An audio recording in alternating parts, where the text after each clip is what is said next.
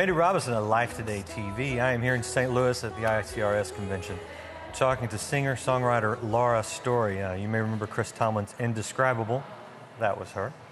Welcome. well, thanks so much for having me. It's a pleasure. Great, great, to have you. Now, okay, you have been nominated for Dove Awards. Uh, you, you, Female Vocalist of the Year. Your song Blessings done really great. You've, you've had a lot of success as a songwriter. Where, where are you at in that? I mean, you, are you happy with the way things are going? Oh, I'm more than happy. Yeah. Never in a million years did I imagine uh, that any of this would have happened. I, well, I started off as a songwriter, as you said, you know, wrote Indescribable, and, and I feel like over the past, I guess maybe four or five years, God has been pushing me more towards the stage, and I'm I'm getting to deliver some of these songs myself which I'm still getting used to. Yeah. I still, I'm not sure whether I like it or not. Yeah. I think that I do because it, it gives it's a great opportunity to connect with people and, and for me to share my story and to hear their stories and, and that's that's been a really neat thing. A part of your story yes. is uh, the difficulties that your husband has have had. Yes, sir. Tell me a little bit about that and how that's impacted yeah. everything you do. Well, we uh, Martin was died. We got married about nine years ago, and within the first couple years of our marriage, noticed that Martin was having some health symptoms and uh, was eventually diagnosed with a brain tumor. And so for the past seven years, he has had uh, he had a, multiple surgeries. Um, the front end of that, but the past seven years has lived with some disabilities because of the surgery, because of some complications, and he lives with a, a memory deficit and a vision deficit. Mm. And so we are learning to live with disability, yeah. and that that's it's not a plan that we would have chosen for our lives. And so, so much of our ministry has to do with learning how to worship God and give Him uh, our praise, even when we don't necessarily understand why our lives have turned out the way that they have. And when you don't get what you asked for, because no exactly. doubt you've had lots of people praying for him. Yeah, and praying song, for healing and recovery yeah. and. And the song "Blessings" is is just about that. You know, the opening line. We we pray for healing. We pray for you know safety, and, and everyone prays for those things for their family, and certainly nothing wrong with that. But sometimes God uses those harder things in life to accomplish um, His purposes and His plans. And uh, and one thing I can say, even though I don't understand our situation, it's been a story in which we've seen God give. Um, he's given us strength to walk through it and we've seen him get so much glory and so much praise through the road that we've walked. Uh, and that's what we set out to do. You know, as followers of Christ, we said, God, let our lives be about your glory. And, and it may not have been the path that we would have chosen, but we're, we're still seeing that God is um, just as faithful, just as faithful to, to use that hard path to glorify himself. Some people would say that, that something like that, a health issue, something, that, a prayer that's not answered, would expose a lack of faith on your mm-hmm. part. But what I hear you saying is that God has used it to deepen your faith mm-hmm. and, to, and to share that with others. Is that yeah. what you're sensing?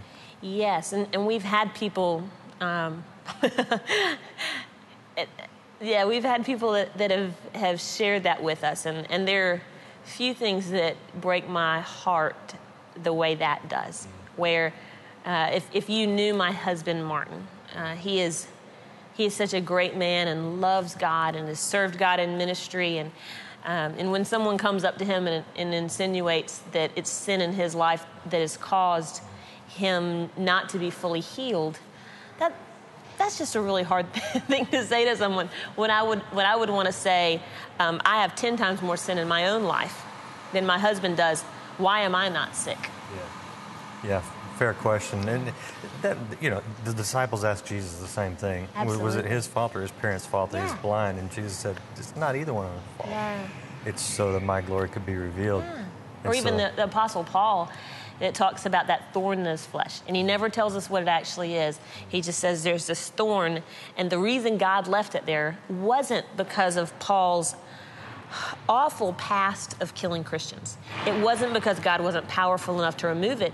He says, I'm leaving it there so that my strength could be glorified in your weakness. And that's the purpose He gives us. And so we, got, we just have to trust that even though we don't understand it all, we can see every day of our lives, every ministry opportunity, we see God getting glorification through our weakness.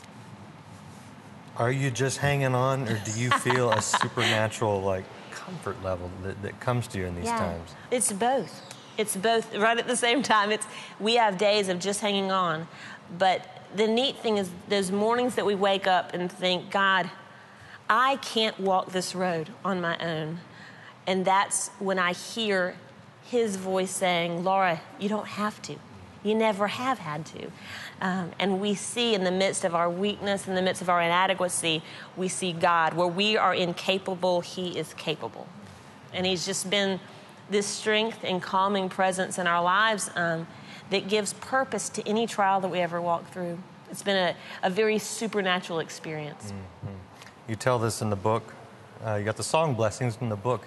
What if blessings come through the raindrops? Is that yes. right? And that book is out and available. Is, yes. Do you talk about all this in the book? Absolutely. Well, and, and, the song Blessings, you know, it's this four minute synopsis of, of what we've gone through. But what I wasn't able to say in the song is that there's so many truths in Scripture that we held on to in the midst of this trial. And the book really breaks that down and, and talks about, I mean, it's mostly Scripture. There's even space to journal and just kind of, so, so it's not just my reflections. Because my reflections are, I mean, they're okay. They're just my reflections. But people can have their own insight because it's not just about me saying, hey, if you're going through this hard thing, you should do this. It's not a book about advice. It's, it's a big a book about people through it. Absolutely. It's, it's, a book about scripture and how those things um, were anchors for my soul in the midst of the trials we walked through. And then it has a section where it says, now you you figure out how God might use this scripture to tether your heart more closely to Him. Mm, great, great, great stuff. Thank you for sharing your story. Oh, I know you. it's not easy necessarily to share it, but hopefully a lot of comfort will come to those who hear your story. Be sure to check her out. It's at laurastorymusic.com and her, her recent book, What If Blessings Come Through the Raindrops? Teardrops, raindrops. Raindrops. Raindrops. And which teardrops. Are, which are like teardrops. it could be either, really. Check out her website. Thank you for being with us. Thank you so much.